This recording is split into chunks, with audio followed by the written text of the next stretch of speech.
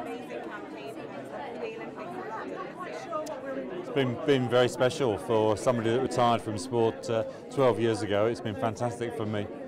It's been amazing. How, how important was it, do you think, to have the British public behind the British athletes and, and have it on home turf this year?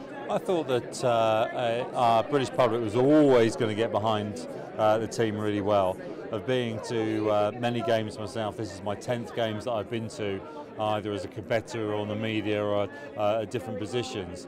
It, it, uh, of seeing the, the home nations being involved, but knowing how our country is so passionate about sports and, and programs that are put on, is that I always felt that they would really get uh, uh, behind it. But it even surprised me of how much uh, excitement there was out there.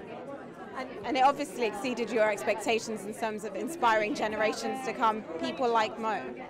Well, I, I, started uh, mentoring Mo probably about six years ago, so uh, uh, see him coming through as a, as young potential to what he's done in of last year of uh, the double at the World Championships and the double at Olympics um, is pretty special from, from my point of view and uh, that what's so special that he sort of conducts himself in, in such a fantastic manner as well. Yeah, hasn't changed as a person right the way through.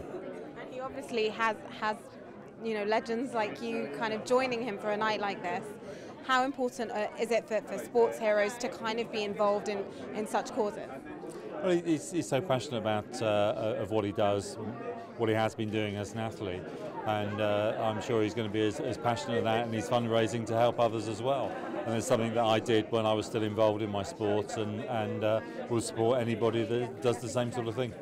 Have a. Pleasure.